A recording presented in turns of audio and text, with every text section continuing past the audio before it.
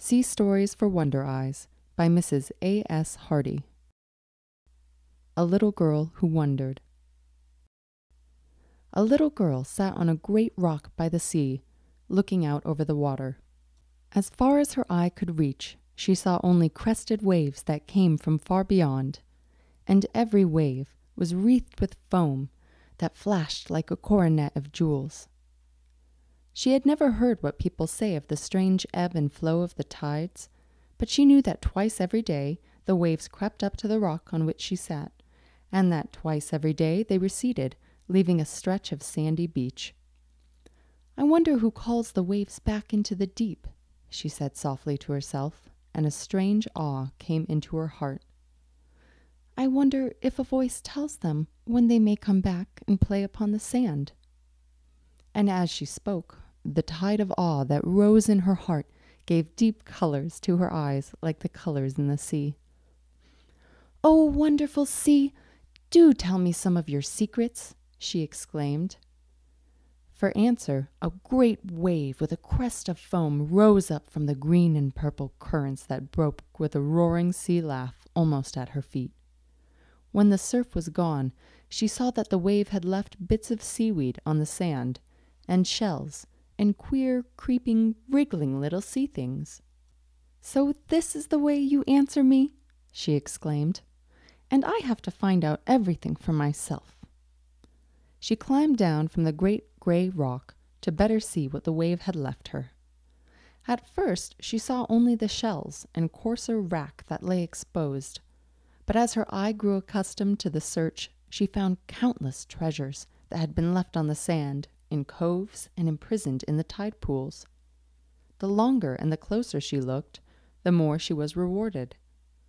The more she saw of the little sea things, the more she loved them, and the more she loved them, the more she was able to find. There were little fleets, tinted and fragile, such as she had never seen before, stranded upon the beach. Scores of tiny, beautiful objects lay glittering for a moment in the light, then buried themselves in the sand from sight. I wonder what they all are, she said. I wonder where they come from. I wonder how they can bury themselves so quickly in the sand. I wonder, too, where the stretches of white, silvery sea sand comes from. Long, graceful curves upon the beach marked the limit of the incoming waves, and all along the sand were strewn the children of the sea. Slowly again the tide crept up the sand. So, old sea, you are coming back after your treasures, are you? said the child. And I must go away. I love your roar, and your sea songs make me glad, but I wonder what you are singing about. I wonder where your bright waves come from. Oh, I wonder and wonder so many things. For this little girl who sat by the sea and who wondered, and for other girls and boys who wonder, these sea stories have been written. End chapter 1 A Little Girl Who Wondered. The water drops that make the ocean. We see the waves come racing in, one after another like foaming steeds. The waters that roll and tumble in crested billows were not always in the sea. They were not always deep colored with purples and blues and greens, nor did they always break upon the shore with a roar like thunder. Even the water drops that crest a single wave were most of them born far away and very far from each other. They have traveled through many lands to their meeting place, the sea. Some of them came tripping along in merry little brooks that laughed and sang and ran races. Sometimes the merry little brooks leaped into each other's arms and journeyed along together, no longer little rills, but rivers marching with a sterner tread.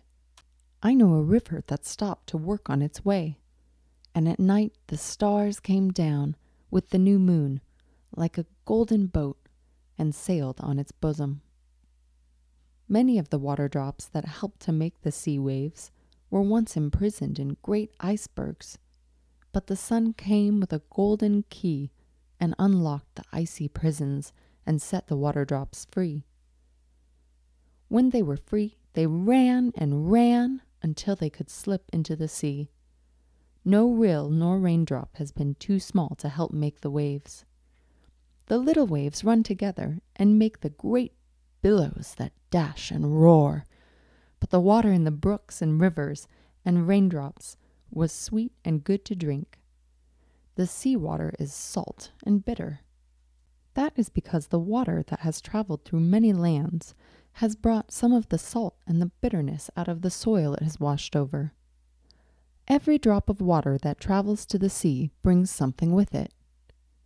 If you take some of the sea water home with you and boil it, the water will vanish away in steam, but it will leave something behind. You will find left in the dish something that looks a little like snow. Taste it. It is salt and bitter like the sea water. If you can examine it with a magnifying glass, you will see that it is in little white flakes. They are in many shapes and are called crystals. The square crystals are salt. There are oblong crystals too. They are lime. There are other kinds of crystals left when the water travels away, and they are not shaped like the salt or the lime crystals. Every kind of crystal has its own shape. Little Wave and Crystal make a storybook all about a journey and the road they took. End of chapter 2 The Water Drops That Make the Ocean. The Sand on the Seashore. The brooks and the rivers bring more than shining waves and bitter crystals to the sea. They are washing with their silver hands late and early at the sands and they bring grains of sand to the sea in their silver hands. Rivers are strong and are often many years cutting roads through the rock in which to travel. Some of the pieces of the rock which they cut out they carry to the sea. Where the earth is very cold, there are rivers of ice. They hear the sea call and travel, like the others, to carry it their gifts. Because they are ice, these rivers must travel very slowly, but they carry heavy loads which they drop when the ice melts. The loads of mud and sand and rock grow so heavy that the brooks and rivers cannot carry all of them to the sea. They have to leave much by the way, but all carry some to the end of the journey and lay it down just where they step into the sea. The pebbles were not always round and smooth.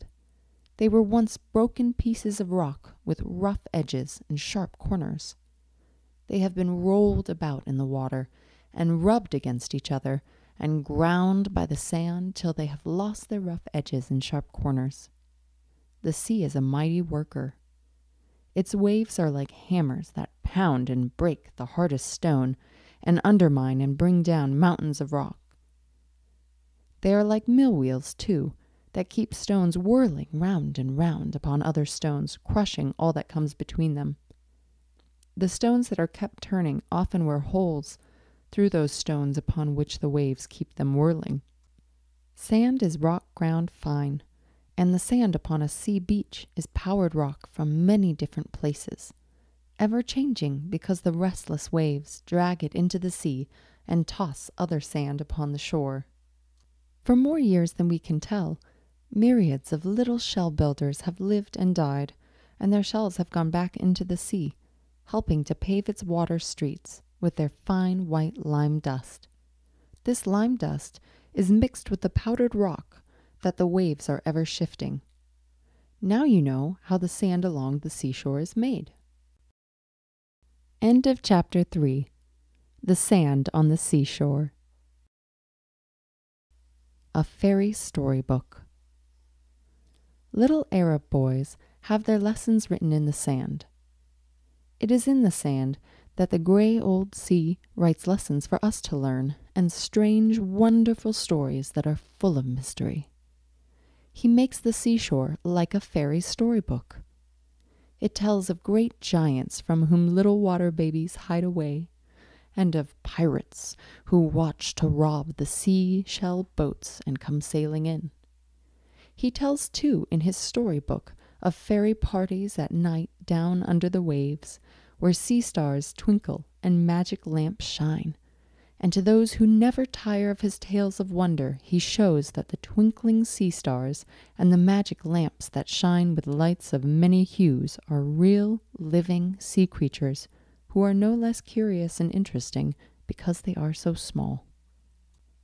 Many times in a day, the waves dash up and rub out all the stories that have been written in the sand. Then new stories are written in place of the old. I will tell you some of the stories I found this morning on the white sea sand. The waves were playing with a tangle of seaweed. They tossed it up, again and again, catching it in their silver hands. Once, when the waves tossed it shoreward, I caught it. It looked like only a bunch of seaweed, but there were many stories wrapped up in the pretty tangle. It was hung full of tiny living fairy lamps that I knew had been twinkling and flashing wondrously in some dark sea hall. And the story I read was of a beautiful sea garden with caves and arches where sea folks live and sea babies play. I read how, when the fairy lamps flashed, the sea people were having a gay carnival, and the sea mothers brought tiny sea babies and laid them to sleep in the corals and among the soft sea mosses. But the mosses and the long weeds that had been rocking softly to and fro became loosened from the rocks and the coral trees, and the waves carried them away with lamps still hanging in their branches, and the sea babies safely wrapped in the mossy tangle. I brought them all home and put them in a great jar of sea water. The sea mosses floated out like beautiful plumes. In the darkness, the tiny lamps flashed again, and the sea babies played as if in their own great garden under the sea. Another story, not like this, I read in the sand. The waves were rocking an empty shell upon the beach. The shell had been an oyster's palace. He never left it while he lived. It was only a little house to begin with. The oyster was so small that he only needed a very small house. As the oyster grew, he made his house larger. He polished the walls and made them smooth and shining. He painted them, too, in pretty tints of pearl and blue and brown. Every day he made his walls a little thicker. But when I found his house, it was empty. A hole was pierced through its wall. When I saw the hole, I knew a sea pirate had been there, and that the little king of the oyster palace would never live there again. End of chapter 4 A Fairy Storybook. Sea Gardens. The sea is full of gardens where bright sea flowers grow. Some of them will thrive in deep water only. Others love the shallows where the sunshine comes and brings them bright colors. Fair as are the gardens upon land, the sea has even fairer. And the strangest thing about them is that many of the gayest things that grow in the sea gardens are not plants at all. Curious make believe lilies and asters grow there, and nod and wave in the water as flowers on the land wave in the wind. There are coral gardens, too, in the sea, where graceful shrubs and branching trees grow. The coral trees are covered with bright blooms and leaves that seem half flower and half jewel. Big and little burrs mossy and green and brown, lie in the lily beds and walk around in the coral gardens. But the jeweled coral blossoms and the flower like lilies and asters, and even the big and little burrs upon the sand, are none of them plants at all. They are every one sea animals that eat for breakfast and dinner and supper, and for lunch, too, hosts of other animals just as bright and pretty as they are themselves.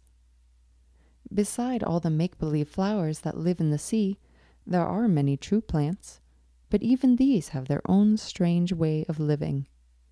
The seaweeds have no roots, and many of them live and thrive while carried about by the waves. Others cling to rocks and shells with what look like roots, but are only suckers or holdfast. The holdfast do not need the seaweeds like roots, they only hold them in place. The waves bring us tangled bunches of seaweeds. These from a garden that no man sees, where foot of mortal has never trod, brought by the billows that we may learn of these hidden works of a perfect God. Some of the seaweeds are fine as hair, others are like graceful plumes or silken tufts, and many are broad and bright like ribbons. Tossed lightly by the winds and the waves, we may imagine them singing in a soft fashion of their own. Green earth has her sons and her daughters, and these have their gardens, but we are the winds and the suns and the waters, elect of the sea. There are others that are hundreds of yards long and are twisted strong as ropes. Those that grow near the surface of the water are bright green, like grass and land plants. The lovely pinks and brilliant reds have their homes in deeper water, but, as they are not stay at homes, are often found in shoals and tide pools. The dull browns and olive greens love deep waters, but the dear old sea brings them with the others and lays them on the sands at our feet. Many of the seaweeds are delicate and shy, and hide in shady tide pools or among the rocks. We must seek for such as for shy land flowers if we could find them. But how they all love the curling waves!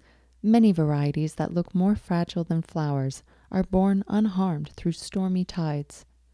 They even ride gaily in on white billows that break against great rocks with a deafening roar.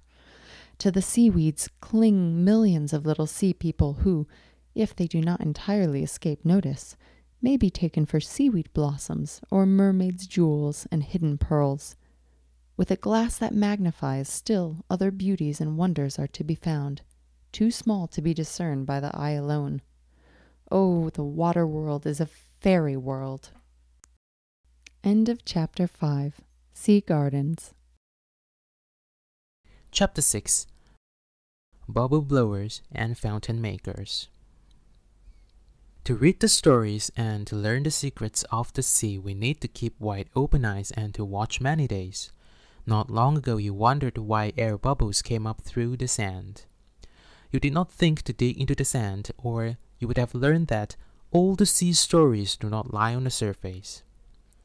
That is one of life's secrets, my little man, my little woman. There are many precious stories that are hidden.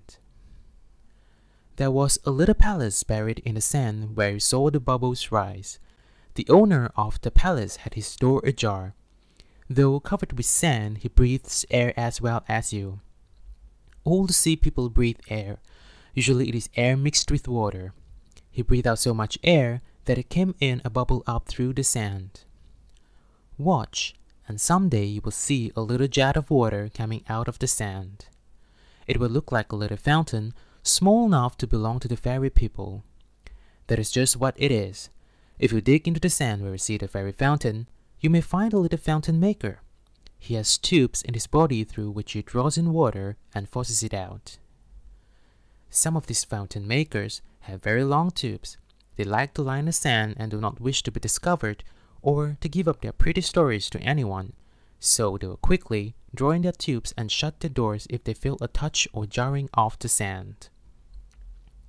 Some of them can dig down into the sand faster than you can follow them with a little seashore shovel.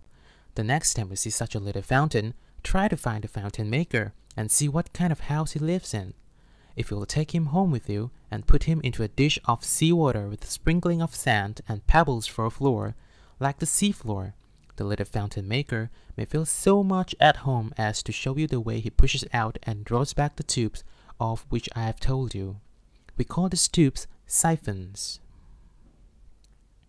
End of chapter 6 Bubble Blowers and Fountain Makers. Jellyfishes. Once upon a time, some very strange sea people came sailing gracefully into port. The bodies of these strange people were shaped like flattened globes or disks, and they were almost as shining and clear as glass. They were pale blue and purple and milky white. A little girl went to walk on the sea sand and saw the strange people. She stood looking at them a moment and then cried out, Oh, see those beautiful and great bubbles! They look like round plates of pale jelly, said another child. Both were right, for the strange people looked like great shining bubbles and like globes of pale jelly. Long ago, people had thought the same thing and had named them jellyfishes. Sun jellies, too, they are sometimes called. Queer people they seem, and the more we learn about them, the queerer and more interesting we find they are. There are many kinds of jellyfishes that ride on the crested waves, that live in the coral groves and the seaweed gardens. Some are several feet across, and others are almost or quite too small to be seen in the daytime. But even the smallest can be seen in the darkest night. That is because these people have such a queer custom. They have pale green lights which they carry with them. That is why they can be seen by night and not by day. There are often so many of these little light bearers traveling together that they make the waves look as if touched with fire. Sea people who have such light in their bodies are said to be phosphorescent. There are other things beside bubbles and globes of jelly which these queer people resemble. Some of them might be taken for seaweeds. Some look like little morsels of floating ice or tinted seafoam flowers. Others are like tiny clusters of glittering gems. The sea has so many of these gem like organisms that we might imagine sometimes that a mermaid's jewel box has burst open and its glittering contents gone shimmering through the sea. The sea is full of animals that feed upon jellyfishes, and it is really a good thing that this is so, for if every jellyfish that is born were to live, the sea would be so full of them that there would be no room for anything else. In some places, they cover the sea for miles and make sea pastures for the great whales. The jellyfish has still another name by which it is called. The other name is Medusa. Medusa was the name of a dragon like woman who the old Greeks put into one of their stories. Her hair, they said, was a mass of writhing, twisting serpents. Now, many of our great jellyfishes have long, streaming threads that float out from their bodies as it was imagined the Medusa's serpent like hair streamed out. We call the jellyfish's floating threads tentacles. Some of the tentacles are very pretty and look like bright seaweeds, fine ribbons or glittering threads of glass. In this they are quite unlike the ugly serpent hair of the Gorgon Medusa, though the tentacles of the jellyfishes have power to sting, somewhat as a serpent stings and for this reason great care must be used in examining them, or they will sting us for prying into their affairs. Their tentacles are filled with little stinging poison cells, which are of use to the jellyfish in benumbing its prey and as a defense against its enemies. Around the scalloped edges of some of the jellyfishes, tiny jewel like points are to be seen. These points are supposed to be eyes. Jellyfish with scores of eyes do you ever wink? I can see you with my two eyes, more than you, I think. End of chapter 7. Sea anemones. You know how the field daisies grow. Every daisy nods with a crown of fringes around its head. Many things that grow in the sea will make you think of the daisies, for they too have their little crowns of fringes. You will think they are sea flowers, other people have thought so too.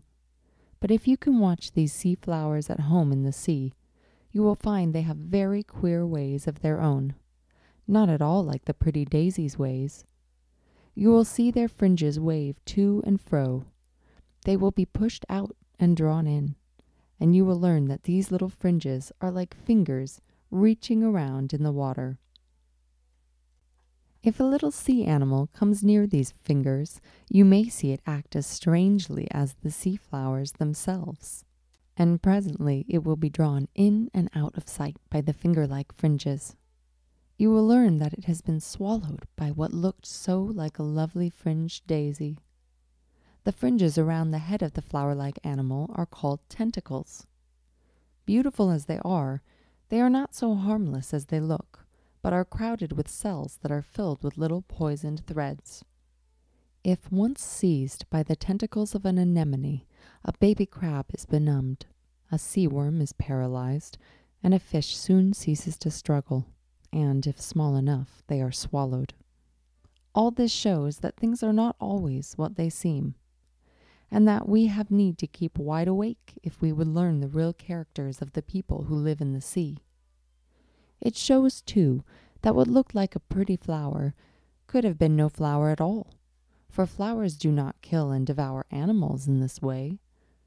That is what the people learned who had believed that one of these pretty sea creatures with the crown of fringes was a flower. They named it anemone, after one of our daisy like flowers. So sea anemone it is called. The fringes, which we must learn to call tentacles, are very wonderful indeed. Small as they are, they are hollow. Not only are they hollow, but each one is divided by thin partitions into tiny chambers. In the center of the circle of fringing tentacles is the mouth of the sea anemone. Directly under its mouth is the anemone's stomach. The stomach is like a bag with a hole in the bottom through which the food passes into another bag, which is the body of the queer anemone. Whatever is swallowed is carried through the animal's body. When all the nutriment is taken from the food, that which is left goes back by the same road that it came in. That is, it passes out of the animal's mouth. The larger sac is divided into chambered spaces.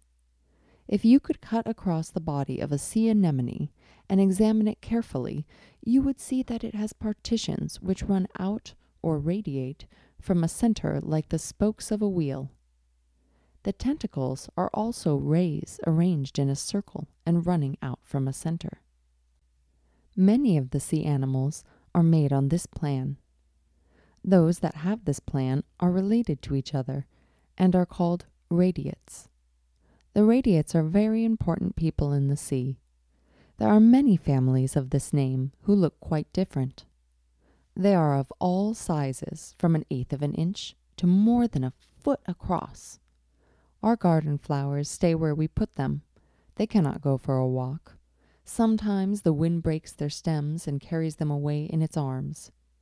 But if some of these make believe flowers are watched, it will be seen that they travel about in the sea. To pull anemones from the rocks that are their sea homes would be to spoil them. Even if we do no more than touch them, their pretty fringes disappear. We are reminded of the striking of the clock in the fairy story. You know the story. It is of a fairy who stayed out too late. At the striking of the hour, all her fairy finery disappeared. So, if touched, or even if the water be disturbed about it, the anemone draws in its fringes and disappears or becomes so old looking and wrinkled and dull and shapeless as hardly to be seen. This is a trick anemones play on their enemies, who thus lose sight of them, for they make themselves look so much like the rocks and the seaweeds that they are unnoticed. The soft little anemones have learned this trick because great fishes like to feed upon them, and hungry sea slugs bite pieces out of them. The sea anemone has no skeleton, and when it dies, all trace of it quickly disappears. End of chapter 8. Among the coral trees. In some parts of the sea, the water is so clear that one may look far down to the bottom and see the forests of coral that are growing there. Coral trees are graceful and branching, but they are very unlike the trees that grow upon the land. They bloom with soft, star like animals in place of leaves and flowers. The animal flowers that cover the surface of each living branch and leaf of the coral trees are called polyps. They are made on the wheel plan like the anemones, and like them, they have fine fringed tentacles about their tiny mouths. They are protected by skeletons of lime in which the tiny polyps hide.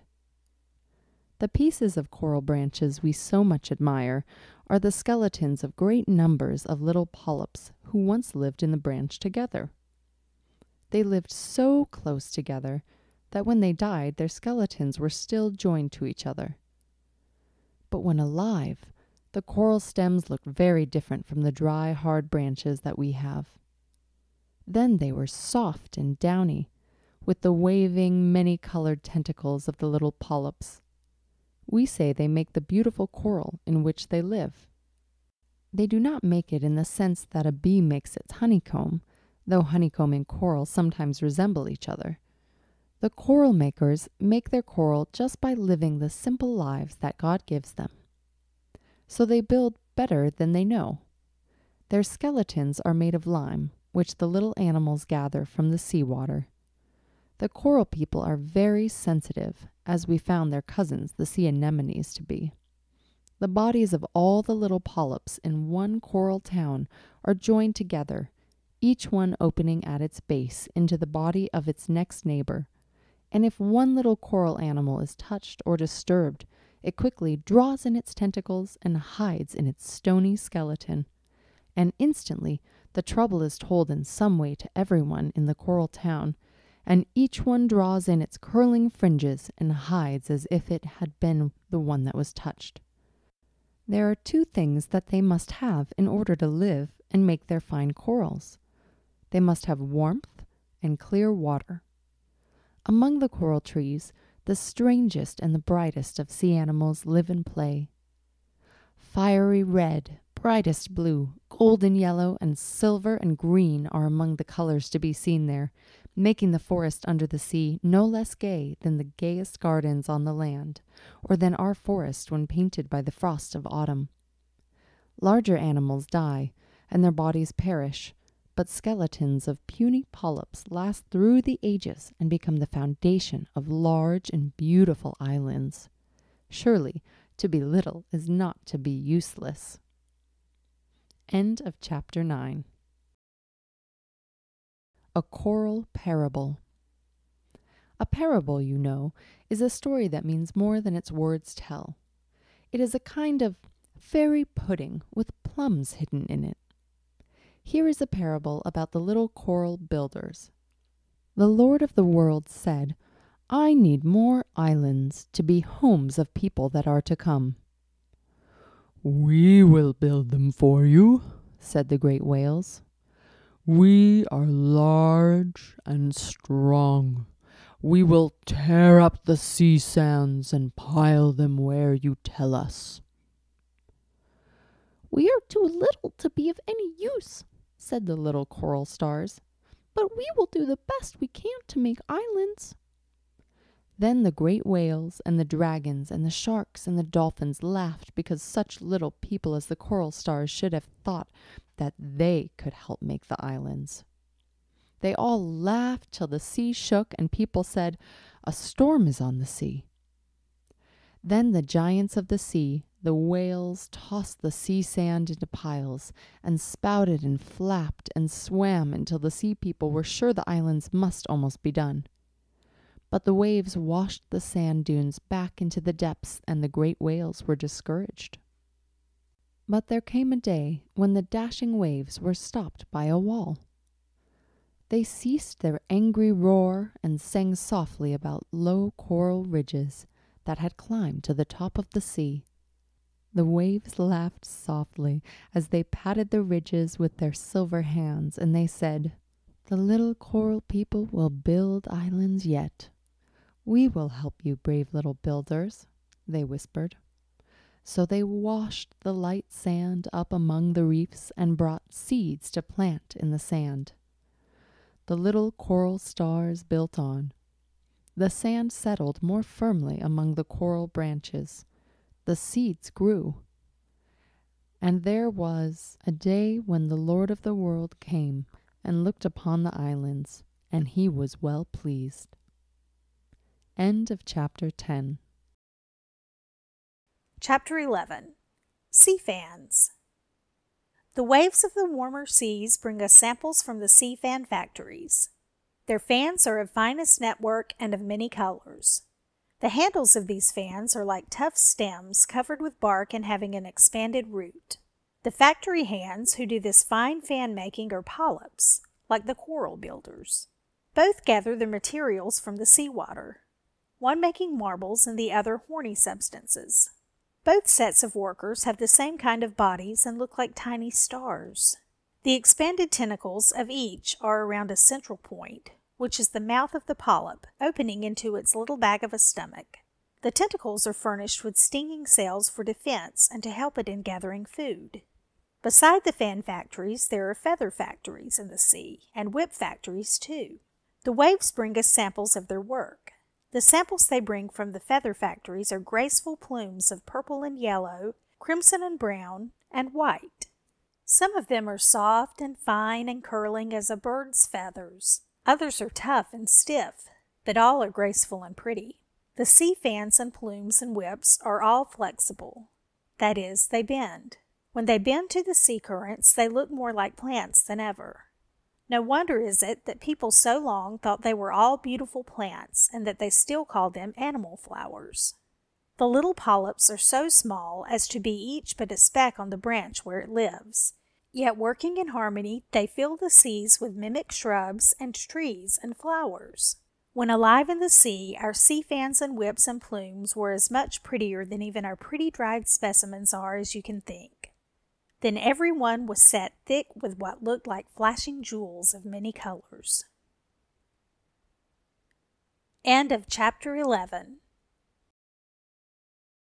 Chapter 12 a Star That Ate Oysters. The star I am going to tell you about lived in the Gulf of Mexico. It was called a starfish. It had hundreds of other starfishes to keep it company. When I first saw this star, it was stealing oysters from Captain Ellis's oyster bed. Probably it thought, as long as the oysters grew in its gulf, they belonged to it more than to Captain Ellis, who didn't live in the gulf at all. One oyster shut its doors against the starfish. It did not wish to be eaten. But that made no difference to the starfish, who just pulled out its stomach and wrapped it around the oyster and sucked out its sweet life. After that, the starfish put its stomach back again and walked away. When it was walking away, I stopped it.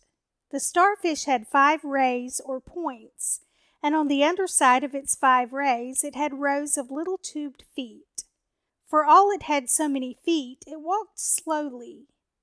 When I touched it, it objected, but really it could not help itself, so it drew in its rows of feet and lay very still. I went to catch a fiddler crab, and when I came back, my starfish had pushed out its little feet, little worms they looked like, and had started back for the oyster bed. I wanted to learn more about this star, so I turned it over on its back. I found its mouth in the very center of the underside of its body, but its queer little feet were drawn in again. I pushed it along into a shallow pool of sea water where a piece of driftwood lay. Soon its queer, worm-like feet were pushed out again. It was on its back, so I could see how they moved one way and another as if trying to find something to take hold of. One of the queer feet touched the piece of driftwood and clung to it. By this, it drew its long ray a little closer to the wood and was able to touch the wood with others of the little feet, which clung as the first had done. In this way, the starfish lifted itself little by little until it finally turned itself right side up. The feet of starfish are hollow tubes with suckers at the ends. They are called tube feet. The animal will fasten itself to a rock by these tube feet and even allow its feet to be torn away rather than let go. An oyster sometimes shuts its doors and catches one of the arms or rays of a robber starfish. The starfish cares little for the loss of an arm, so snaps it off. They often break off their rays upon being picked up, or when the waves toss them into the sun, which gives them discomfort. As they are able to grow new rays, they are not much damaged by the loss of one. In some parts of the sea, there are such large starfish settlements as to cover the bottom of the sea. There are many kinds of starfish, and some of them have more rays than this one of which I am telling you. The rays are extensions of the body. Some kinds have a much larger central body and shorter arms than this one. One kind, called brittle stars, has rays which are not parts of the body and into which the stomach does not extend.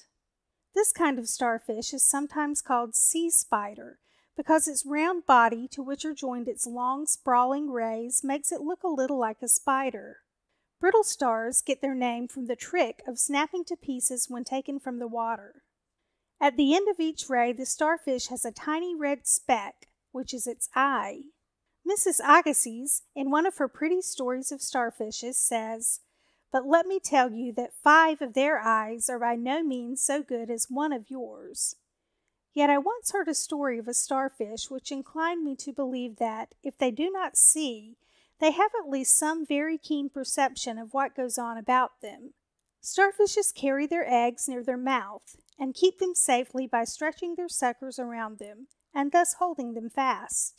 A friend of mine was one day watching a starfish in a large glass dish, which had its eggs folded within the suckers in this way, and wishing to examine the eggs more closely, he parted the suckers, took the eggs away, and kept them for some time. When he finished his examination, he dropped them back into the dish. At once, to his surprise, the starfish seemed to be aware that its eggs had been returned to it, and moving towards them at its utmost speed, which is at best but creeping very slowly, it placed itself over them, folded its suckers once more around them, and so took them up again. Wishing to be quite sure this had not been accidental, he removed the eggs again, put the starfish into another and larger dish, and having placed it at one end and putting some obstacle in the center of the dish to divide it from the other side, he then dropped the eggs in at the end opposite the parent, as far from it as possible. The starfish immediately began its journey, now quite a long one for a starfish, toward its offspring, and having reached them, covered them and took them up again as before. A third time the experiment was repeated, but always with the same result. The creature perceived its eggs the moment they were placed in the same vessel with itself, and went at once to shelter and protect them. You see, by this it is not lost time to watch even the lowest creatures that God has made. They too care for and cherish their young. They have certain ends to fulfill in life, and they, as well as the higher animals, enjoy the existence that has been granted to them. End of chapter 12. Chapter 13 The Sea Urchin. This spiny fellow is a cousin of the starfish. They were neighbors in the Gulf of Mexico. Both were made on the radiate plan, and so are relatives of the sea anemone and the starry coral makers. This spiny fellow's name is sea urchin. He is sometimes called a pincushion, a sea porcupine, and a sea egg. Our second picture shows how a sea urchin's shell looks when the spines are off. The sea urchin who lived in this shell had its home in the Pacific Ocean, but though living so far apart, the two sea urchins were near relatives. Starfishes and sea urchins are very large families and are scattered through many seas. When these sea urchins were alive, their fringes or spines were soft and were moved at the will of the animals who lived in these round box skeletons. When they died, the spines became hard and brittle and were easily broken off. The spines fitted over the little knobs which are seen in the second picture. These spines and knobs were arranged in rows dividing the round box into sections. Between the rows of knobs and spines, there were very small holes, hardly as large as the point of a pin would make. Through these holes grew little tube feet. The feet were connected with the body of the animal within and could be pushed out or drawn in like those of the starfish. An ordinary sea urchin has as many as 2,000 tube feet. Neither of these sea urchins looks much like the starfishes, but if the arms of a starfish could be bent over until the points meet, the round ball thus formed would be something like a sea urchin. The sea urchin has a skeleton on the outside of its body, you see. It looks as if made of only a single piece, but that is because it is so perfectly done. Each skeleton is really made of five or six hundred pieces, all joined so nicely that no edges show. Yet it is at these seams or edges that the skeleton of a sea urchin enlarges. The little animals secrete a kind of chalky substance from the sea water, of which they make their round box houses. The mouth of a sea urchin is in the underside of its round body. The mouth and jaws are made of forty pieces. Five sharp teeth it has, They are worked up and down and across by strong muscles and are able to break and grind hard substances to powder. The tips of these five teeth are easily seen, meeting in a point, and by breaking the skeleton of a dead urchin, we find the long, large teeth still there. Oh, the sea urchin is a wonderful fellow. The better we know him, the more we wonder. In some places in the sea, these little creatures lie so thick that the sea floor looks as if carpeted with soft moss and tiny tinted burrs.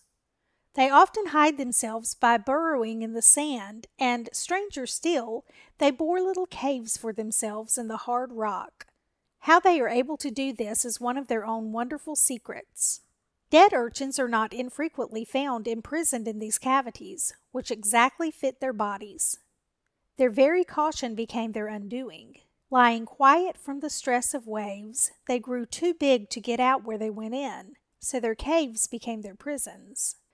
They have fewer enemies than their cousins, the starfishes, but they love to lie in quiet pools and to hide away from sight. They have a funny trick of drawing seaweeds up on their backs to conceal themselves, and are even found carrying sticks and stones around on their backs for the same purpose. There is another kind of sea urchin that is flat and thin, and is called sand dollar, sand cake, or cake urchin. Their shells are beautifully marked and sometimes lie so thick as to pave the streets of the sea. End of chapter 13. Chapter 14 Who Beckoned?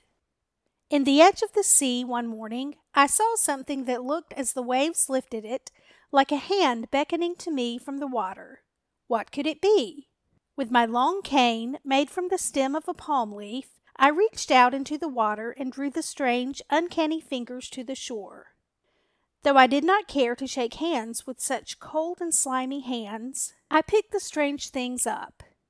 I found that they too were things that grew in one of the sea's curious gardens. They were sponges, a kind of sponge that grows in finger like bunches.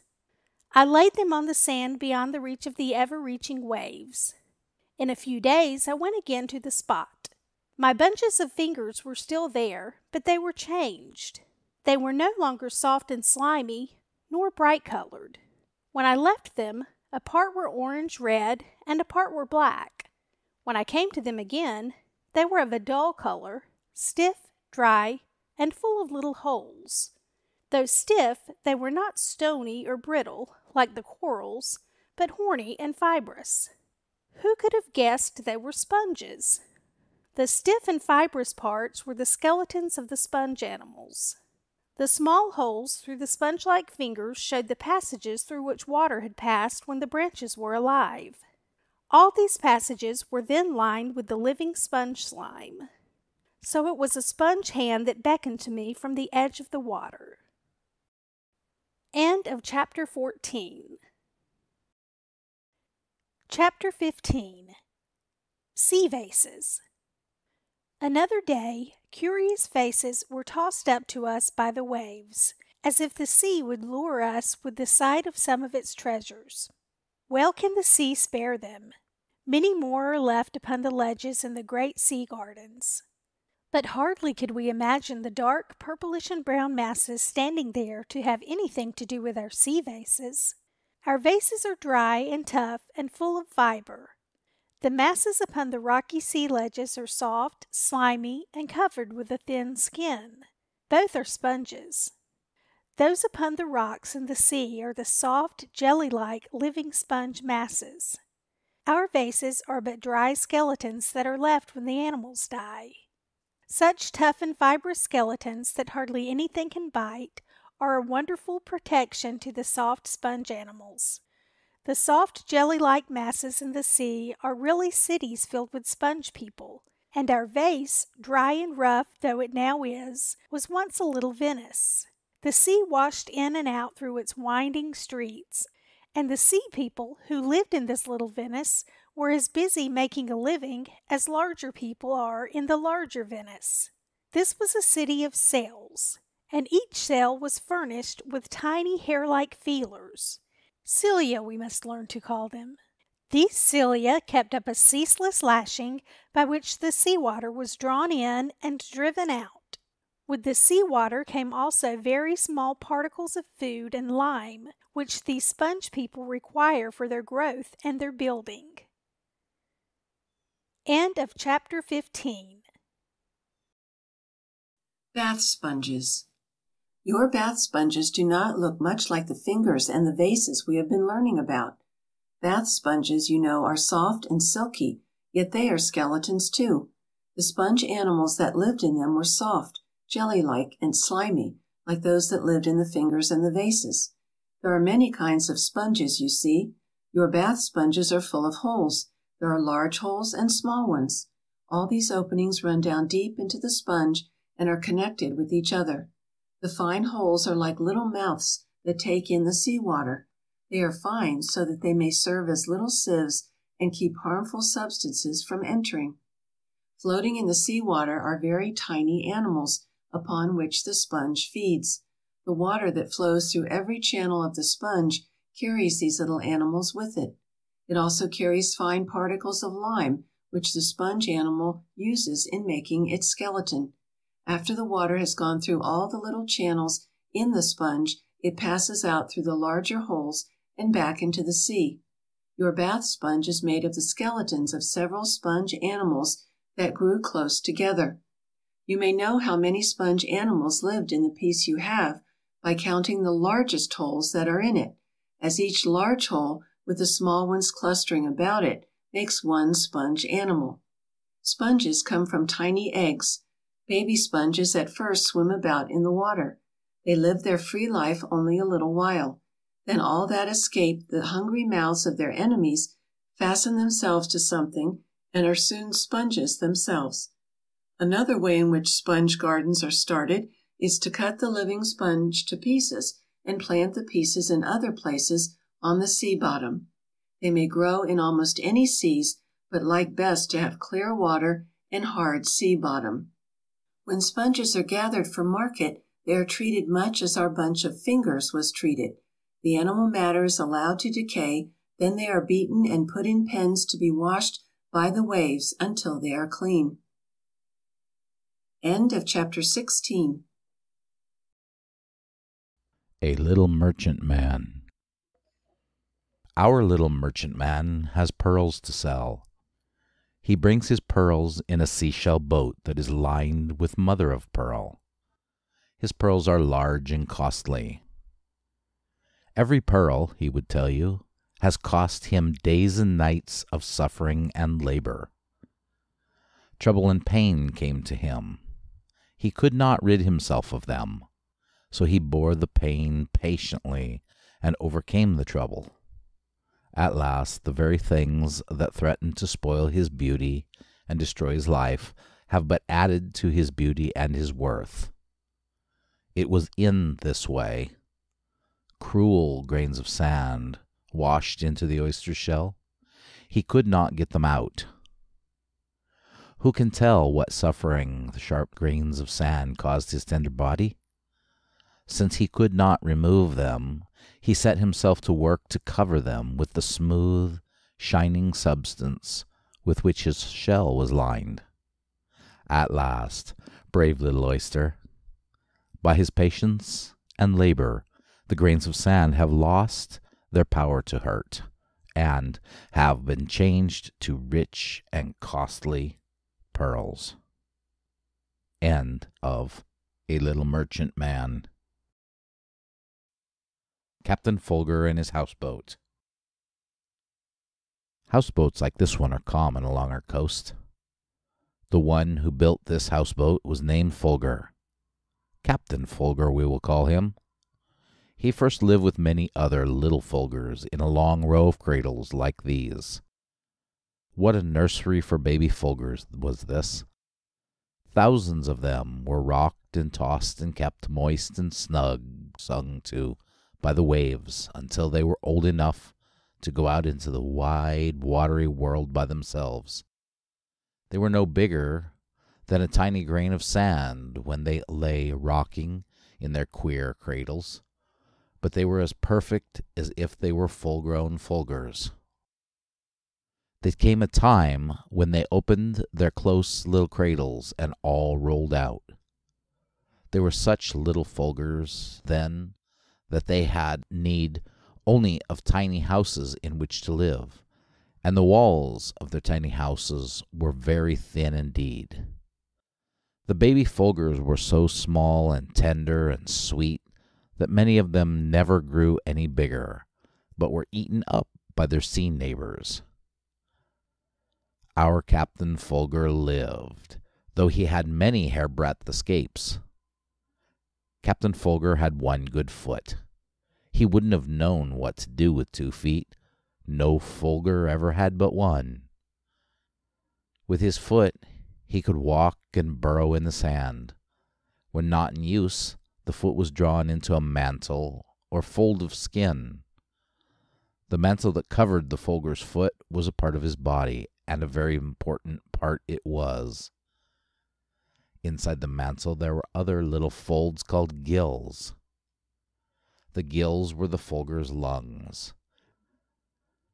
As Captain Fulgur grew, his mantle gathered lime from the water and secreted a kind of glue with which to build out the walls of his house. He always built on by making additions at the opening of his shell house. Captain Fulgur was fastened to his houseboat. He could only live in that way. He had a door by which he shut himself in. When he wished to open his door, he had only to push his foot against it. End of Captain Fulgur and his houseboat. A house with two doors. The scallop family live in many seas. We find them all along our coasts. We never tire of their beautiful shells. The shells are their houses. We often find them with their doors partly open. But touch one, and how quickly its doors go together. The doors are called valves. There are two of them. Bi means two, so seashells have two doors or valves called bivalves. Their doors have a hinge and a strong muscle that draws them together, and they are painted in lovely patterns without, and polished and shining within.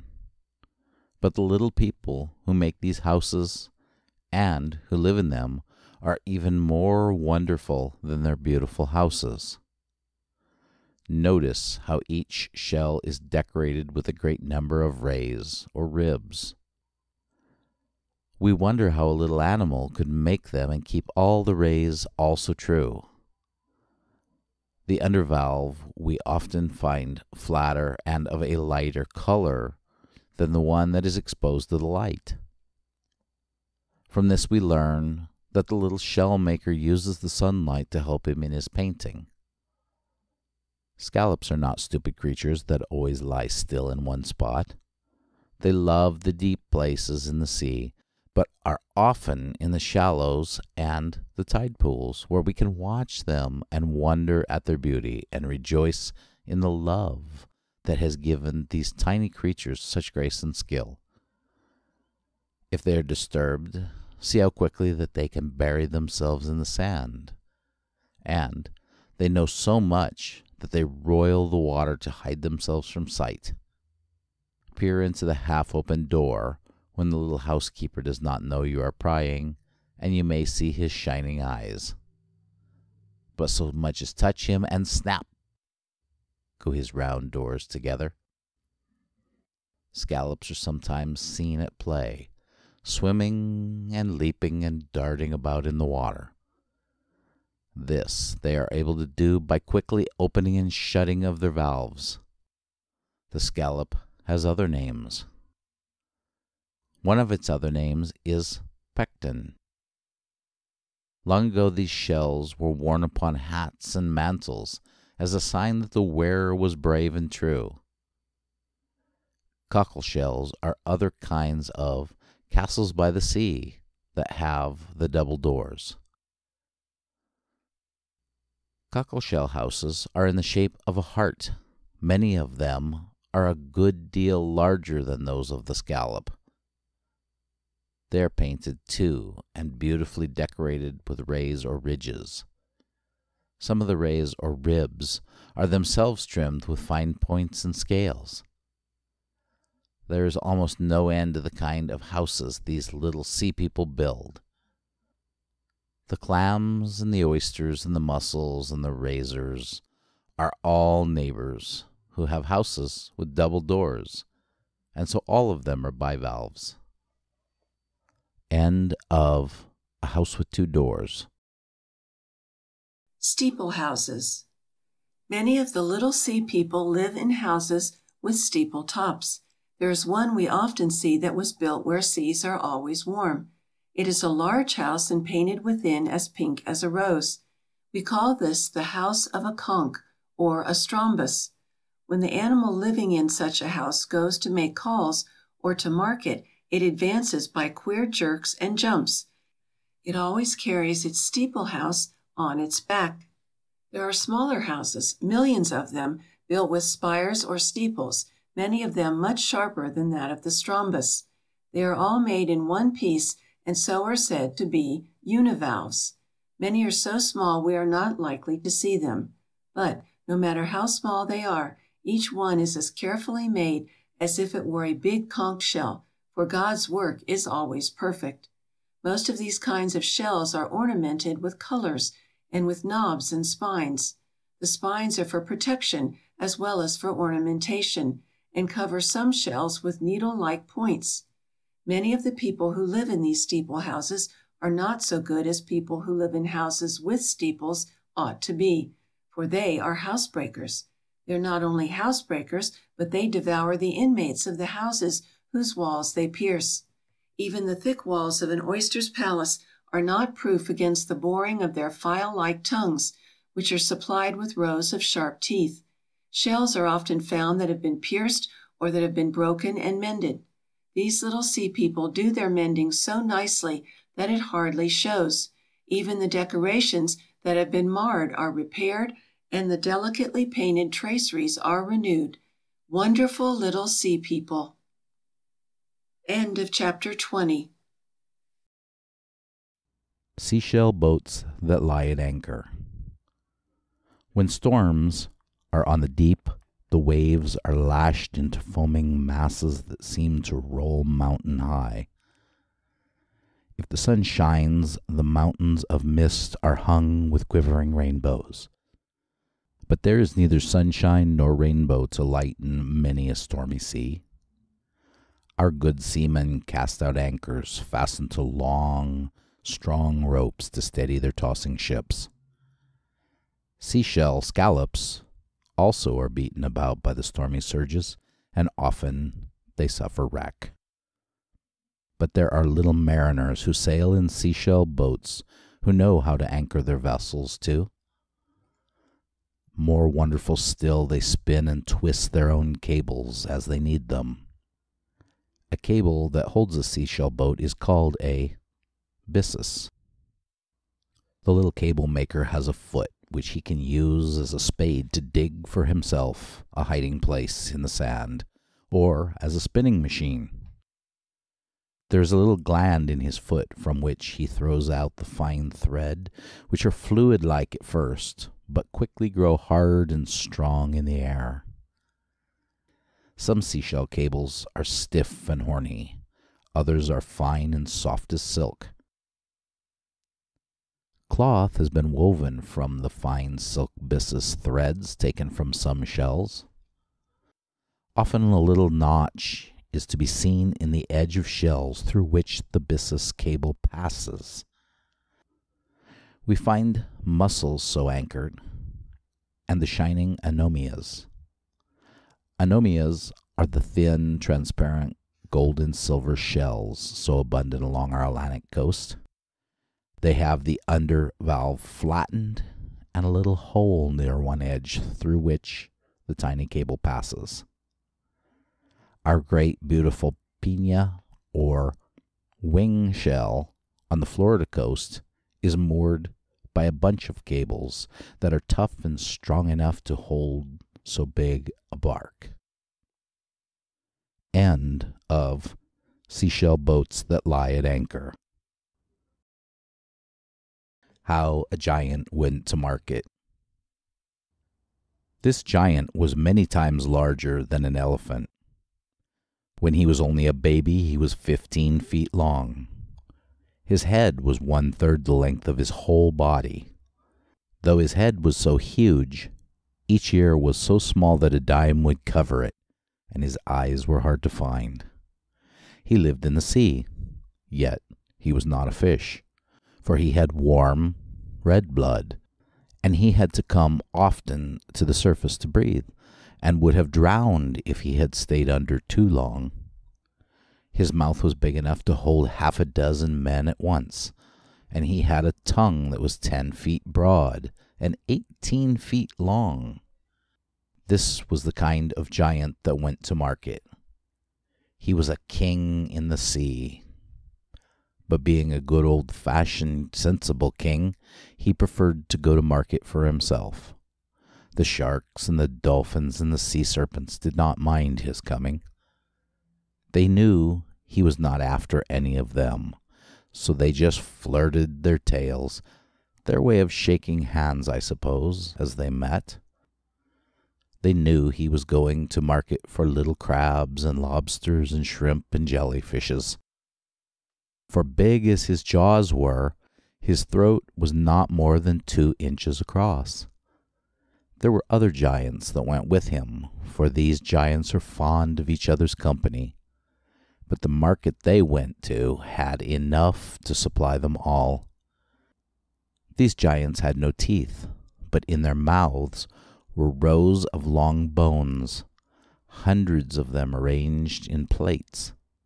These bones formed a kind of sieve through which the giants forced out the water taken in with their food for their markets were in the sea, and the waves were colored with what they fed upon. The giant I am telling you about is the great Greenland whale that plunges about in the icy northern seas.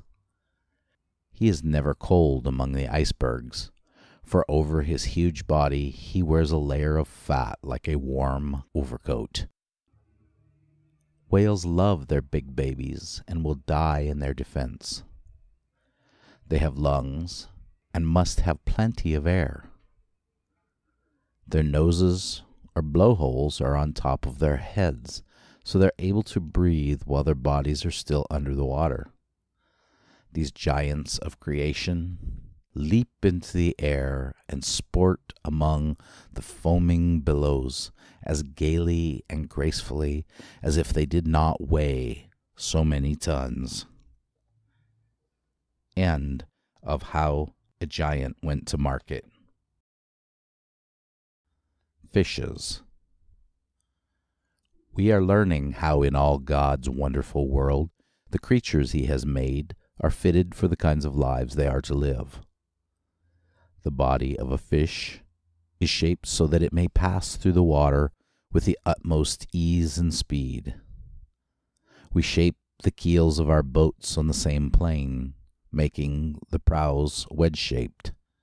Yet boats that are our pride for swiftness cannot match a little silvery salmon as it shoots through the water. Even an arrow is not more swift. Every part of a fish is so made as to help it swim. Its body is flexible, that is, it bends. It is covered with a kind of slime.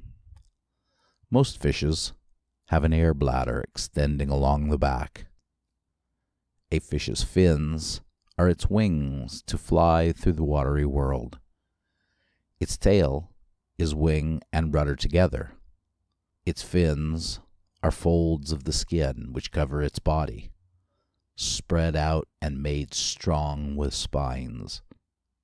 Some fishes have their fins so large and strong that they can use them as wings to fly short distances in the air. By rising on their wing like fins, they are often able to escape their enemies in the water. Fishes must have air to breathe, but they can only breathe air that comes to them through the water. Their gills which are to be seen on each side of their heads, are delicately fringed and may be called their lungs. Their eyes are so made as to enable them to see under the water. I have seen fishes that lived in a river in a dark cave. They had no eyes. No light entered the cavern, and so they had no use for eyes. Only scars showed where the eyes belonged. Some fishes live in hot springs. A fish's scales are its armor. See how they overlap so as to make a complete covering?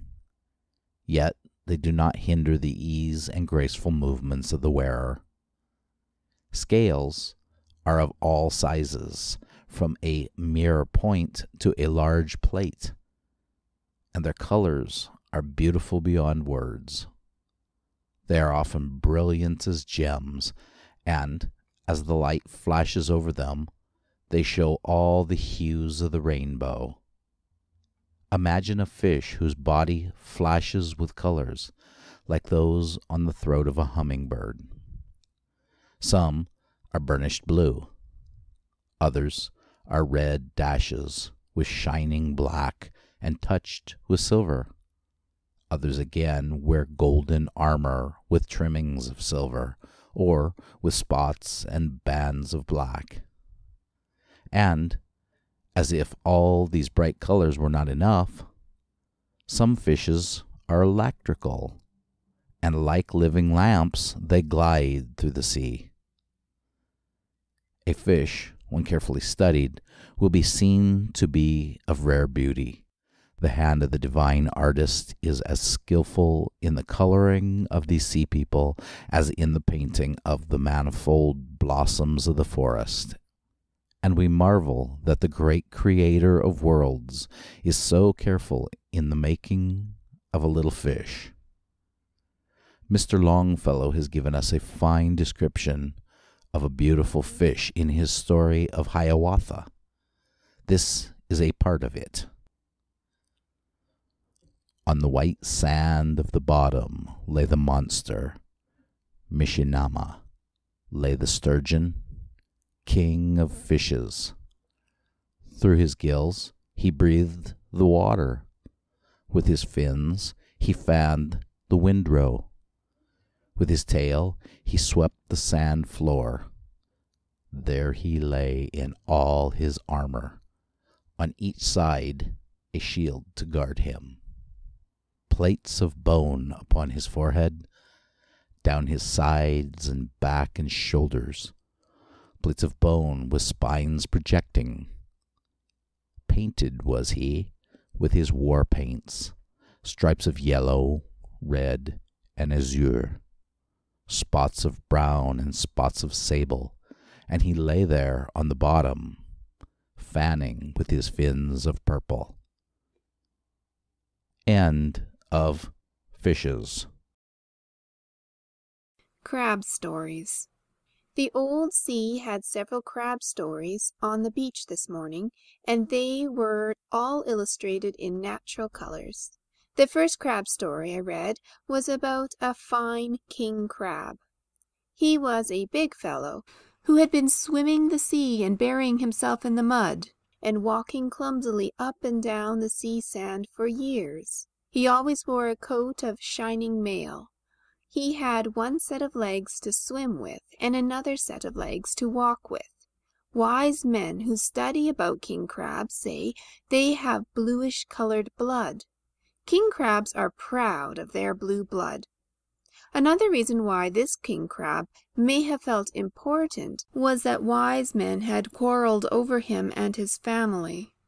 Some of the wise men thought he ought to be counted along with other kinds of crabs. Other wise men said, No, he belongs to the spider people. The king crab might well feel sure that anything the wise men quarreled about must be more or less important. Perhaps it made him feel that his family were great folks, to know that one of the wise men had said King Crab's early relatives were fossils. That is, they had been preserved in stone. Now all these things were true, but the king crab himself was not a bit wiser nor better either for his blue blood or his relatives in stone. Like the rest of us, who are not king crabs, it did not make so much difference what his relatives had been as what he himself was. Whether our king crab knew this or not, he had grown to feel very big, and his shiny coat of mail was too tight. The only thing for him to do was to take it off and have a new one. So he cracked it open and crept out between the plates. He had done the same thing many times in his life. The skin or soft armor under his old armor soon became as tough and shining as the smaller one he had cast off. It was his old armor I picked up on the beach, and this is the story that I found along with it. The king crab is also called horseshoe crab. End of chapter 24. The crab that lost her claw. Another crab story I found in my picture book by the sea. This time it was of a pretty lady crab or sand crab. She wore over her body a lovely shell of many pieces. It was white and was dotted and ringed with delicate shades of purple and red. She has a way of burying herself in the sand clear up to her eyes, and there she sits and watches for her food, which is sure to come, for the sea water is full of tiny eggs and of animals which crabs like. If danger approaches, Our Lady Crab quickly disappears beneath the sand. She has two arms that are long and large and furnished with pincers. Next to these arms are three jointed legs on either side, which end in points. Back of these are her two flattened swimming feet, one on each side. At least, that is the way she was made. But this morning I found one of her long jointed arms with its big claw lying upon the beach. The story told how there had been a crab battle, and my lady crab had gone off, leaving an arm upon the sand. She cared very little about this, however, as she has the power of growing another arm or leg or even eye stalk when one has been lost. She may have cut off her own arm, for crabs doctor themselves, and when they find a member is injured they simply snap it off and grow another. End of chapter 25. The Crab That Was a Housebreaker. There once lived a little prince in his castle by the sea. The prince's name was Prince Fasciolaria. The castle in which he lived he had built himself. He had worked all his life to build it, and now that it was large and fine he was as happy as he could be. He had polished his palace walls within and painted them without. He had made a strong door with which he had shut himself in. But one day when Prince Fasciolaria had the door of his castle open, he felt a sudden shock. The walls of his castle shook, and before he could shut his door he was dragged out and torn to pieces and eaten. Yes, he was eaten. Then the robber went into the wonderful palace Prince Fasciolaria had built, and lived there as if it were his own. The robber who killed and ate the prince and lived in his castle thereafter was called the hermit crab. The way he gets into the house is very awkward, for he just backs in. Then he curls the back part of his body around a column in the center and allows himself to be pulled to pieces before he will let go. If he goes for a walk he carries the house upon his back, for he is afraid to be caught out of it, because he has lost part of his protecting armor. The shell armor that should cover the whole of his body is gone from the part that is kept covered, and that part has become so soft and tender that he is always in terror lest it be hurt. His back pair of legs, too, have lost their strength and are withered and helpless from having been cramped and unused. That is the price the robber has to pay for the kind of life he lives. End of chapter 26. How crab babies grow. Baby crabs are hatched from tiny black eggs. Mother sea crabs are very careful of their sacs of eggs and carry them until they are hatched. Baby crabs grow fast, but are so unlike their mothers that one who did not know them would never guess they had started to be crabs. Some of them seem all head and eyes and tail and as if they themselves did not know what to do. They keep turning head over heels. Millions and millions of them tumble about in the sea. While young they change their skin many times, each time growing more crab-like. With the change of skin, legs and claws develop, but even when they get to be crabs, they still seem uncertain of themselves and they scurry along backwards and sideways as if they did not quite know which way their legs were meant to go. Their breathing organs are frilled, light-colored gills on the underside of their bodies near where their legs and bodies join. Crabs like to wear armor. The crab's armor is really its skeleton, its bones being kneaded on the outside rather than within its body. In most kinds of crabs, this outside skeleton or armor is beautifully polished and painted and dashed with color even to the ends of the claws. There is one kind of crab, however, that wears only white. If you live by the sea, you will sometimes see crabs carrying pieces of sponges and seaweed and even other sea animals on their backs. This is one way in which they seek to hide from their enemies. Many of the crabs in the sea are so small that it is not easy to see what they are doing, or even to see them at all. End of chapter 27 in Fiddler Crab Town. The little fiddlers are so common and so funny that we must learn something about them and the dwellings they make for themselves. Their towns are near salt marshes or the sea, and their houses are built below the surface of the ground. It is interesting to watch them at work, but if we are to succeed in this we need to keep very still, for they are timid little people who do not like to be watched. They honeycomb the ground with their burrows. The mud or sand they dig out they work into crumbs or little balls which they carry away.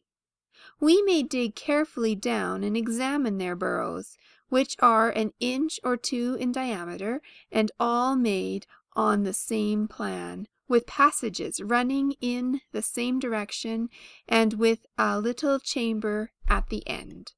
The right pincer of the male fiddler is very much larger than his left.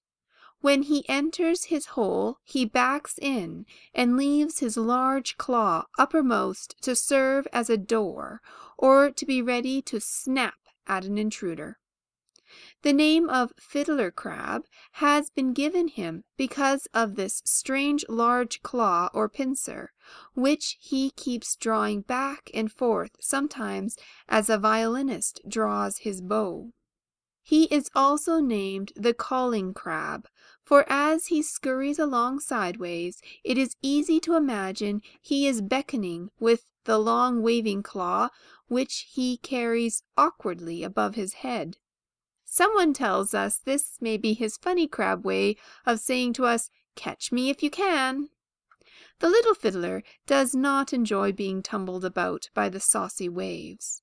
If they handle him too roughly, he quickly makes for himself a little cave in the sand and creeps in and covers himself up. He accomplishes this by digging out the sand and making it into crumb-like balls which he lays outside the hole. When the hiding place is large enough, he pats the edges of it hard, then creeps in, and with his deft little claws works the sand over himself firm and hard. When the waves come again, he is not to be found. End of chapter 28. Chapter 29 A Shark's Cradle Little four-cornered black cases, like the one in our picture, are often picked up along the seashore. Queer little pouches they are, and to the questions of the curious, very unsatisfactory answers are often given concerning them. They are mermaid purses, says one. They are mermaids' comb cases, says another. And questioners, both young and old, wish they might know more about them. These queer black cases, with their pointed corners, are little cradles that the old sea is ever rocking, sometimes none too lightly. There are two kinds of these cradles. One has its corners ending in slender points and is a shark's egg case. Another has its corners drawn out long and thread like, and it contains an egg of the skate, a broad, flat, smooth, unsightly fish with a whip like tail. Each egg case accommodates but one baby shark or one baby skate. Let us be thankful that it is but one. Through a slight opening in the egg case, enough water is admitted and allowed to pass to keep the egg moist. This is necessary to its life. Many eggs are cast upon the sand and become dry and lifeless. Notwithstanding this, and that each little black pouch contains but a single egg, sharks and skates abound, and are the terror of the seas fierce and strong, swift and voracious. Well may they be feared by the other inhabitants of the sea as well as by man. The four jointed jaws of a shark have many rows of teeth which turn backward and prevent the escape of its prey. The teeth are saw like at the edges, while the outermost row may stand straight and ready for use, other rows may be folded back nearly flat against the animal's jaw until ready for action. Sharks often follow a vessel for days, swallowing greedily whatever may be cast upon the water. They sometimes take very strange things into their stomachs. I once read that a shark, when killed, was found to have a lady's workbox in its stomach. The shark wears little or no armor, for there are few animals in the sea that it fears. I will tell you a shark story that is true. One morning, just as the sky began to grow bright with the fires of dawn, a few of us who had risen early that we might behold the sea and her garments of mist saw a strange sight. A little way out from the shore, there were fish leaping into the air. Hundreds, thousands of them rose together a few feet from the water, and as they fell back into the sea, as many more were in the air. In wonder, we exclaimed and called others to witness the strange scene. Directly the mystery was explained, for the short, large fins that cut the surface of the water betrayed the presence of sharks. We were familiar with the sight of those great fins rising above and cleaving through the surface of the sea, and now, when we saw them, we understood why thousands of fish were leaping into the air. A number of sharks were chasing a great school of fish. In the hot pursuit, both sharks and fish had dashed into deep water within the sandbar and near the shore. As the sharks were upon them, the terrified fish leaped into the air seeking to escape the open, hungry jaws of their pursuers. End of chapter 29. The Little Seahorse. Did the baby mermaids ride through the ocean's foamy tide, guiding thee, their gallant steed, with a rain of red seaweed? Who can tell? In thy sea life did a troll groom thee in a coral stall? Was the cockle shell thy manger, filled with seaweed, little Ranger? Who can tell? Do the little mermaids weep in their sea caves, fathoms deep, that before their ocean door thou art bridled nevermore? Who can tell? Certain it is the mermaids would not choose these little horses if they were in haste, for they are but poor swimmers, and strong sea currents upset them.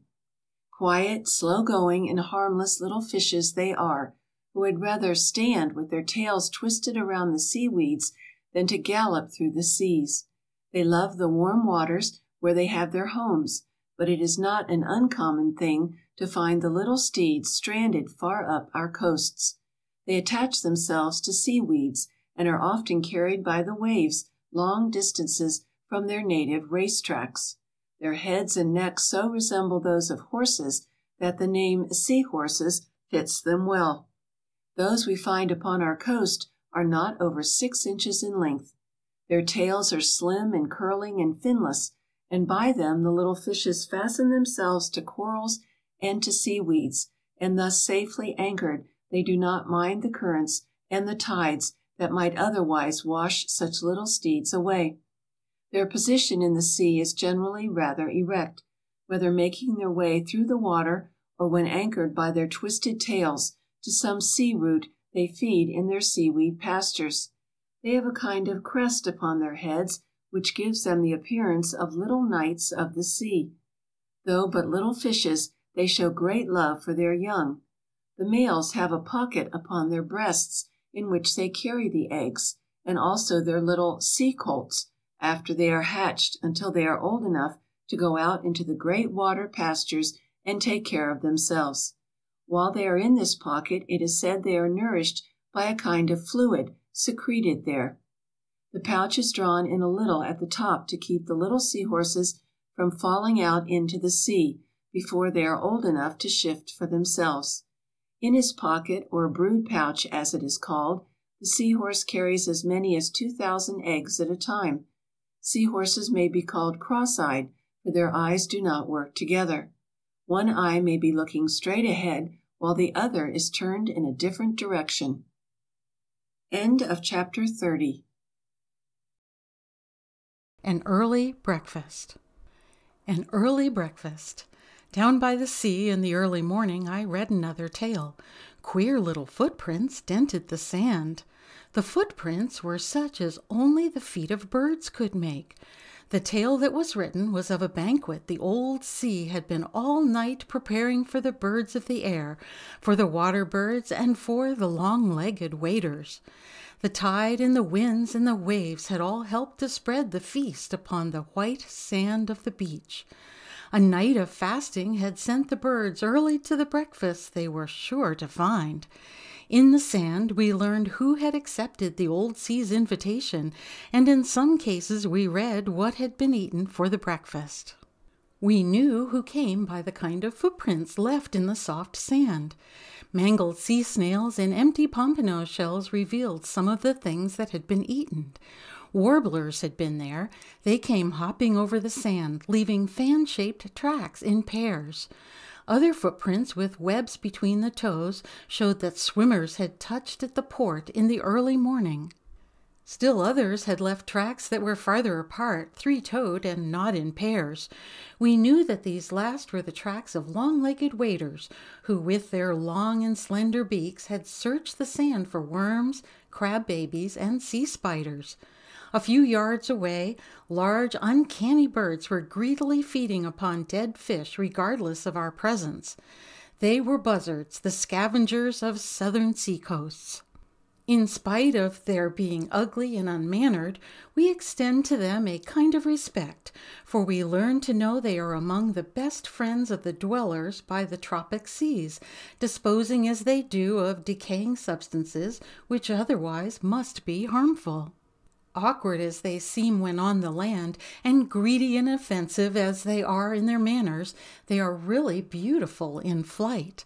With easy, graceful motion, and with only an occasional flap of his great wings, a buzzard seems to be showing what an easy thing it is to fly. There is another class of sea birds which are equally ungraceful upon the land, but for whom we also have a certain kind of respect. They are the great pouched pelicans. They care for no invitation to dine upon the sand, for pelicans have been fishers through many generations.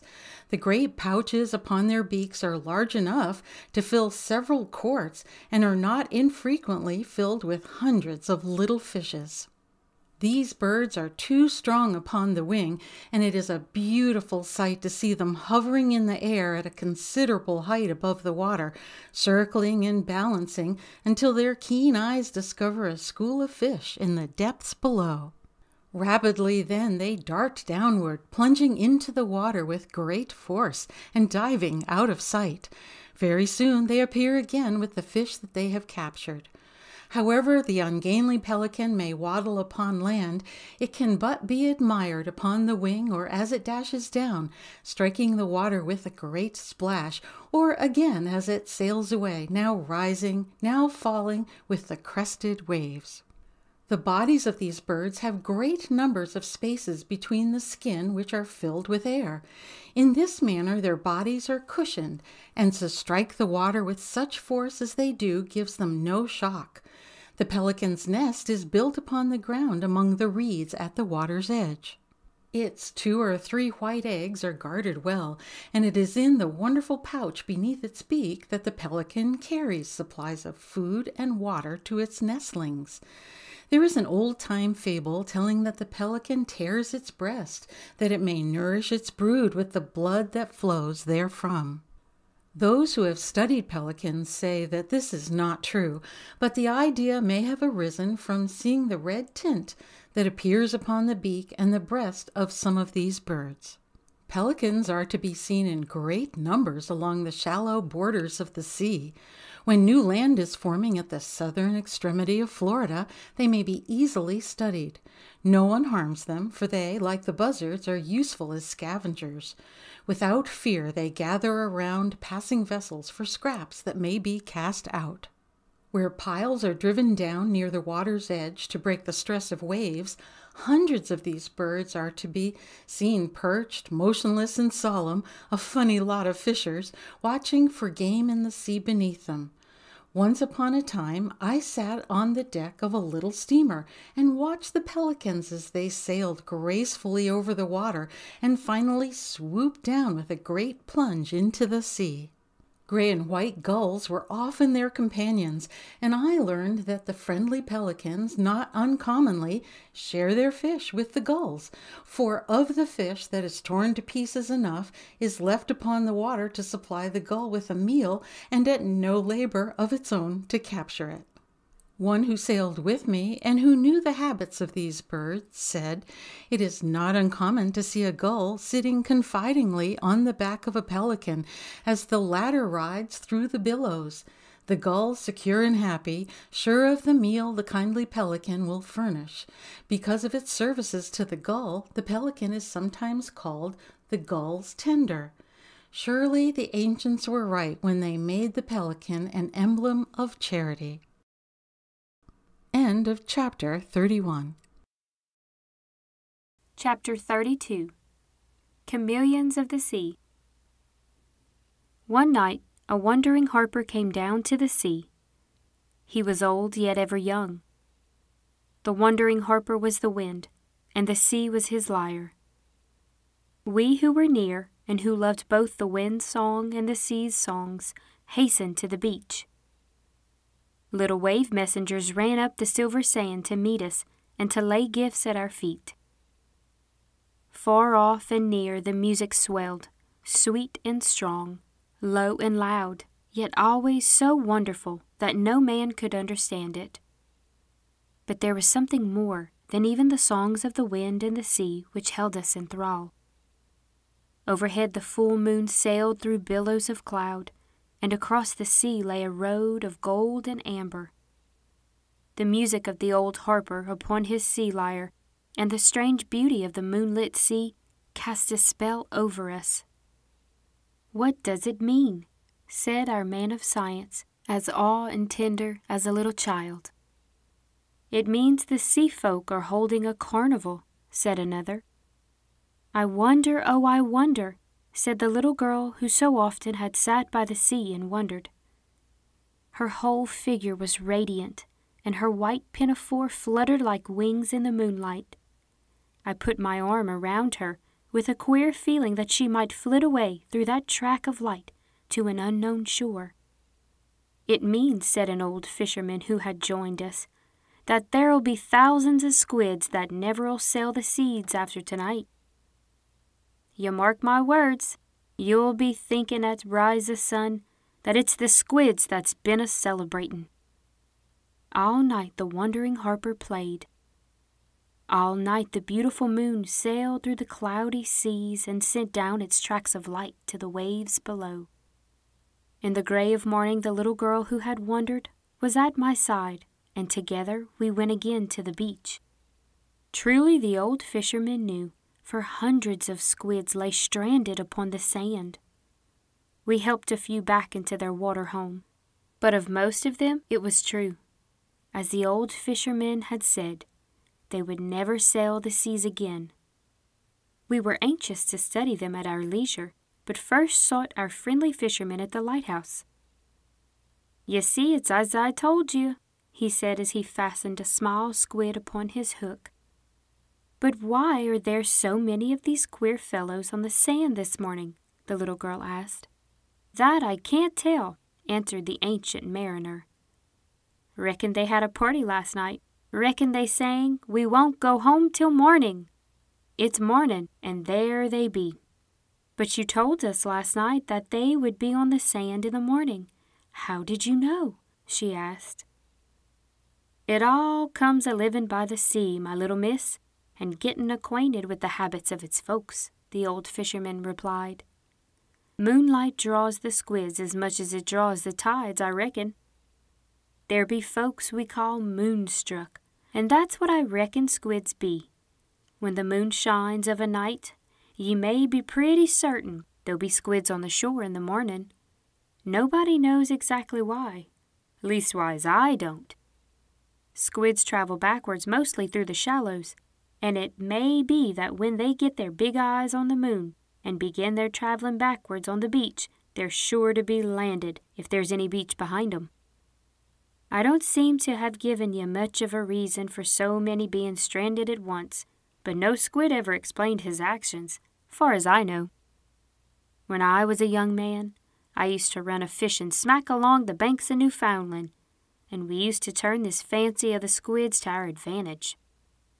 We needed tons of squid for bait for catching cod, and we used to fasten a big light in the bows of our boats and then put for shore. The silly squids, keeping their big eyes on our illumination, would swim straight backwards until we'd land 'em by the hundreds on the banks. Did ye ever see the squids change color, little miss? the ancient mariner asked after a pause. They'll grow all the colors of the rainbow, regular beauties. Then, all at once, you can't see one, though there be dozens of 'em, under your very eyes. If you want to study squids, just go down yonder to the pier. You can watch 'em there as much as you like. The little miss may be lucky enough to find one of their aristocratic relations along the beach here some day. There be folks that find 'em here once in a while. End of chapter 32. More about the squids. More about the squids. Down to the pier we went. There we found squids that were yet alive and in full possession of all their faculties, lying imprisoned in the deep tide pools. No better opportunity could have been given us for our study, and we were not long in seeing that our fisherman friend had called their changing color. We selected two fine specimens nearly a foot long that lay near together and sat down upon the sand to watch their every movement. One squid was of a bright red color when we found it. The other was a beautiful blue. In a few seconds the little girl who wondered exclaimed, They are playing tricks on us. The red one is growing blue and the blue one is green.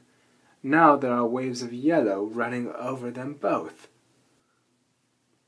True it was. We saw pink and blue and brown and orange flash with a great rapidity through the tissues covering the bodies of these wonderful creatures. We examined the dead squids that lay near by and found that small dark spots were to be seen covering the surfaces of their bodies. We walked out on the pier and looked for other squids in the water below us. For some time none were to be seen but we remembered our fisherman friend had told us, There'll be times when ye can't see one through, there'll be dozens under your very eyes. we were almost ready to give up and go back to our prisoners on the tide pools when along came a school of bass, leaping, flashing, and playing as if they were just out of school, and up darted dozens of shining squids and caught a breakfast in their long, sucker-like arms, for the unsuspecting school of bass had seen the squids no more than we. The experience made us wiser, and we watched the wily squids sink back to the sea bottom, assuming so perfectly the color of the sand and rack as again to be unnoticed. As we became better acquainted with our squid friends, we learned that they were able quickly to assume the color of surrounding objects. This is for their protection, as well as to assist them in securing their prey. The dark spots we had discovered upon the bodies of our dead squids showed us where lay little color cells covering the surface of the animal's body. These cells appear to run together, and upon opening and closing rapidly, at the will of the squid, they send the color fluids over the strange creatures in rapid flashes, making them really the chameleons of the sea. Besides this power which they have of making themselves inconspicuous, they have still another means of protection and escape from enemies. This is an ink bag which every squid carries. If too hotly pursued, it forces ink from this sac into the sea, and the surrounding water at once becomes so clouded that the squid, unseen, is able to make its escape. Watching the squids darting through the water so rapidly, we do not wonder they are sometimes called sea arrows and flying squids. Will you believe me when I tell you that the squids are near relatives of Prince Fasciolaria and of Captain Fulgur, who lived in his houseboat, or of the bivalves, those sea people who live in houses with double doors? This is really true. We must remember that the shell in which the animal lives is its house, and not the animal itself, no matter how closely they may be joined together. We find the bodies of Prince Fasciolaria, of Captain Fulgur, and of the bivalve families are really made on much the same plan as the bodies of the squids. They each have their all-important mantle. In the cavity of the mantle of each are heart and gills and nerves and digestive organs, acting very much alike in all of them. Wise people, who think they have become very well acquainted with them all, tell us that the squids have finer organisms and are much smarter sea folk than are their cousins of whom I have told you. They tell us too that the brains of these smart squids are in a ring around their gullets. It seems to be the opinion of squids that they need no outside shell for protection. But they do need an inside shell, or backbone, for support. So their shell is within and is a long, slender rod. It is shaped something like a quill or feather, and is called a pen. The mantle cavity in the squid is really a bag formed of the mantle and having its opening only at the end next to the animal's head. In this bag we find a large tube or siphon which carries water to the gills and through which the water is forced from the cavity in such a way and with such power as to shoot the animal backward with great rapidity. The squid has also two fins that help it in swimming. Its head appears to be split up into ten arms. This gives it another name which is long and hard, but which means head-footed or arms around the head. Eight of these arms are short and thick, and covered on the inner side with rows of suckers. The two remaining arms are long and slender, excepting near the ends, where they enlarge and are oval and club-shaped, and are also covered with sucking discs. These arms with all their suckers are powerful weapons, from which there is no chance of escape for the little sea traveler once within their grasp. Especially terrible is the giant squid, whose arms are often thirty feet long, reaching out on every side and armed with hundreds of these powerful suckers. Notwithstanding the weapons our common squids carry and the tricks they play, they still form a large part of the food of fishes, jellyfishes, whales, and seabirds. Even the great and dangerous giant squid fears the sperm whale, and in their battles the sperm whale is always the victor. Tell us, sea squids, little wonders, what you do and what you think. Can't you write us all about it? Write it with your pen and ink. Then the squids, the little wonders, scent and gurgles through the brine. We have written scores of letters, and you cannot read a line. Send the squids, the little wonders, we had cousins long ago who have left on stony tablets things that you would like to know. End of chapter 33. More about the squids. Chapter 34 An Ugly Relative. Our squid has other relatives beside such sea people as live in houses, with their double doors, or the steeple householders. One of these relatives is so ugly and so dangerous as to be called devilfish by the seamen. Its real name is octopus. Its body is rounded in shape, while the body of the squid is long. Like the squid, it has two large and highly developed eyes, sleepless, alert, and cruel.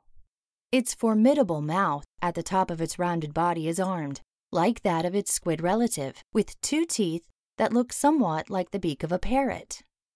This mouth is surrounded by eight serpent like arms bearing their rows of terrible suckers.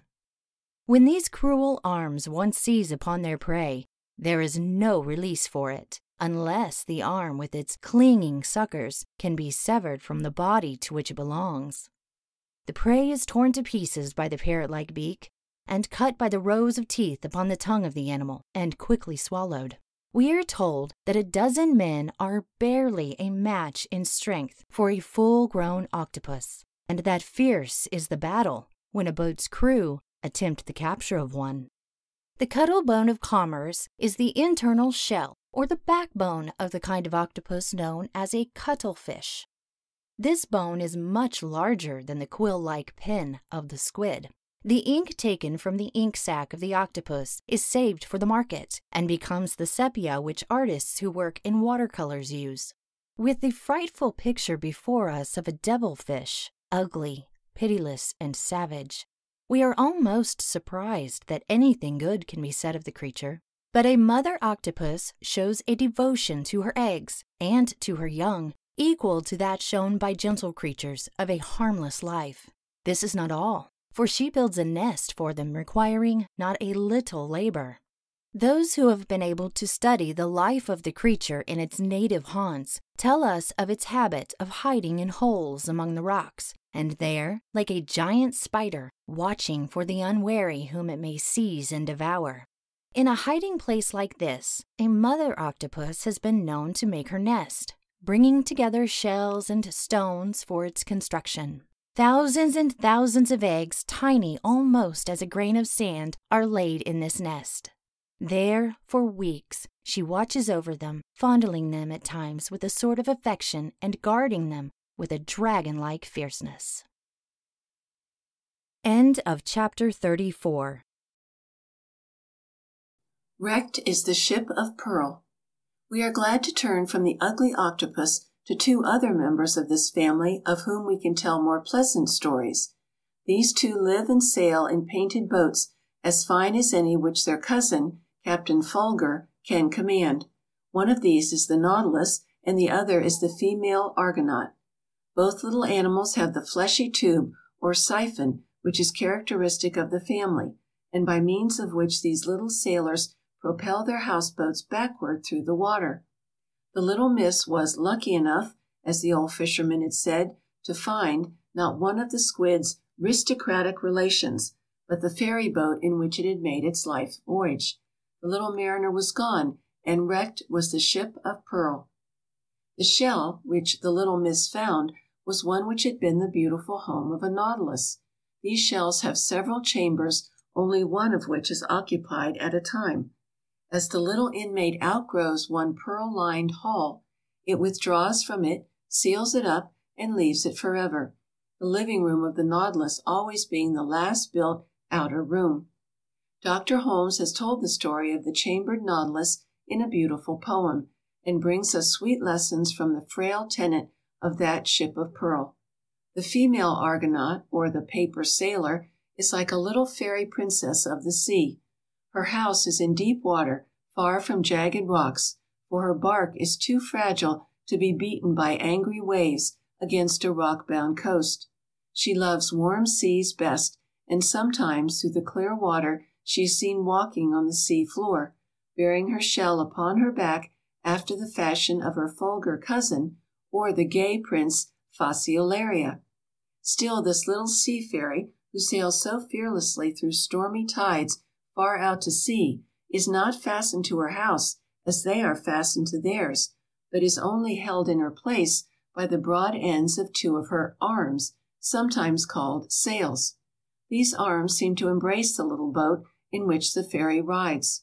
The delicate, crumpled shell of this argonaut sailor is not chambered, and seems to have been made secreted, we say by the little fairy only as a safe and beautiful home for her eggs so this little Argonaut mother does her utmost that her children may sail safely on life's unresting sea.